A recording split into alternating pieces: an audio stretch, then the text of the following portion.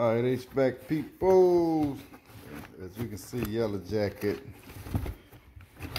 sent the gauges back yesterday. Like they repaired both of them.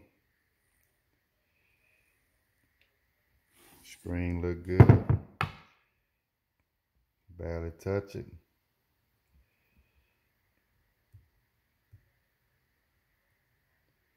Okay. Everything works on one touch. This is the oldest pair right here. I know by the serial number because it's scratched off. They put a brand new screen on this one.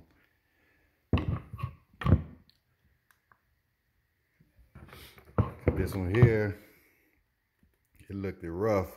Cause like I say, when I purged my refrigerant, like the first or second time I used it, got all over the screen.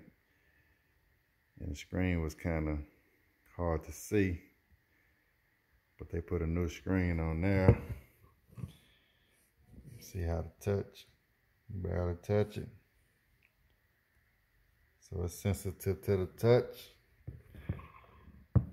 So appreciate that yellow jacket for getting those back out to me. Took like, well, about a week or less.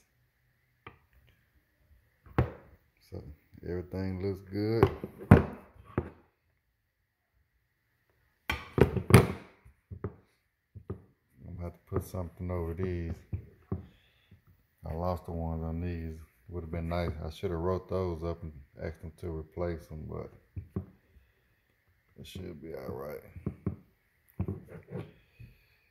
All right, everything looks good. I'm back back in action now. I had two for commercial and one for residential.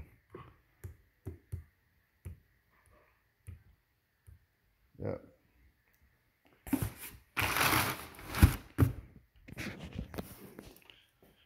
That's the yellow jacket update.